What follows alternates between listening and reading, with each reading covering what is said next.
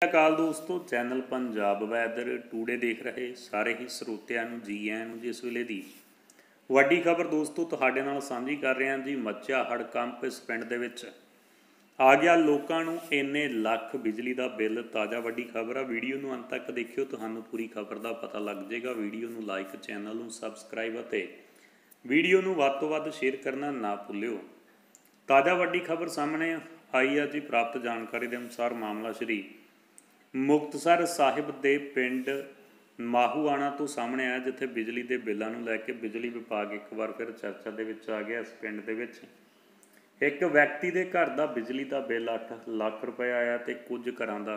Bill 5-5 lakh ਰੁਪਏ ਆਇਆ ਤੇ ਕਈਆਂ ਦਾ 50-50 ਹਜ਼ਾਰ ਵੀ ਆਇਆ ਹੈ ਬਿਜਲੀ ਦੇ ਇੰਨੇ ਜ਼ਿਆਦਾ ਬਿੱਲਾਂ ਨੂੰ ਲੈ ਕੇ ਜਿੱਥੇ ਲੋਕ ਪਰੇਸ਼ਾਨ ਹਨ, ਉੱਥੇ ਹੀ ਪੀੜਤ ਪਰਿਵਾਰਾਂ ਵੱਲੋਂ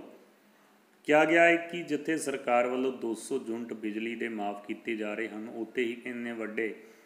ਬਿਜਲੀ ਬਿੱਲ ਭੇਜੇ ਜਾ ਰਹੇ ਹਨ, ਜਿਨ੍ਹਾਂ ਨੂੰ ਉਹ ਪਰਿਵਾਰ ਅਦਾ ਨਹੀਂ ਕਰ ਸਕਦੇ, ਕਿਉਂਕਿ ਪੰਜਾਬ ਵਿੱਚ ਐਸੀ ਪਰਿਵਾਰਾਂ ਨੂੰ 200 ਯੂਨਿਟ ਬਿਜਲੀ ਮਾਫ ਕੀਤੀ ਗਈ। ਇਸ ਦੇ ਬਾਵਜੂਦ ਵੀ ਵਧੇਰੇ ਬਿੱਲ ਹੋਣਾ ਚਿੰਤਾ ਦਾ ਵਿਸ਼ਾ ਬਣਿਆ ਹੋਇਆ। ਹੈ ਇਸ ਬਾਰੇ ਬਿਜਲੀ ਵਿਭਾਗ ਦੇ ਅਧਿਕਾਰੀਆਂ ਨਾਲ ਗੱਲਬਾਤ ਕਰਨ ਤੇ ਉਹਨਾਂ ਨੇ ਕਿਹਾ ਕਿ 8 ਲੱਖ ਰੁਪਏ ਦੇ ਬਿੱਲ ਵਿੱਚ ਕੋਈ ਤਕਨੀਕੀ ਗਲਤੀ ਕਾਰਨ ਅਜਿਹਾ ਹੋ ਸਕਦਾ ਹੈ। 50 50 ਹਜ਼ਾਰ ਬਿਜਲੀ ਦਾ ਬਿੱਲ ਕੁਝ ਲੋਕਾਂ ਵੱਲੋਂ ਪਿਛਲੇ ਕਈ ਮਹੀਨਿਆਂ ਤੋਂ ਬਿੱਲ ਨਾ ਭਰਨ ਦੇ ਕਾਰਨ ਹੋ ਸਕਦਾ ਹੈ, ਜਦੋਂ ਲੋਕਾਂ ਵੱਲੋਂ ਸਮੇਂ-ਸਮੇਂ ਤੇ ਬਿਜਲੀ ਬਿੱਲਾਂ ਦਾ ਭੁਗਤਾਨ